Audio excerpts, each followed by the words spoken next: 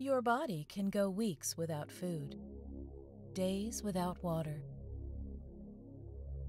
but only a few minutes without air. When people stop breathing at night hundreds of times, it's called sleep apnea, and it's really serious. Historically, the treatment for sleep apnea is continuous positive airway pressure, or CPAP. It works when people wear it, but after about a year, more than half the people stop wearing it. We know they stop wearing it because a CPAP machine measures wearing time or compliance, and when you stop wearing it, it doesn't work. But there are alternatives. Oral appliances are the recognized number one alternative to CPAP. They open your airway at night just as CPR opens the airway. There's a solution which makes oral appliances much better and levels the playing field with CPAP.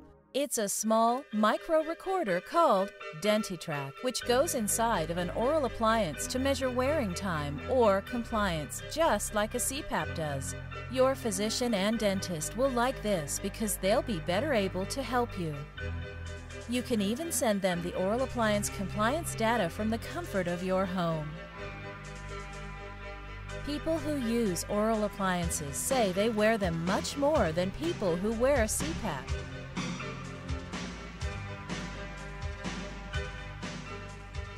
Now we have DentiTrac, the objective, reliable method to confirm oral appliance compliance.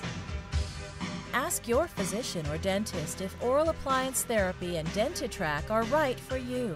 DentiTrac, wear it, track it. Braebon, for today's business of sleep.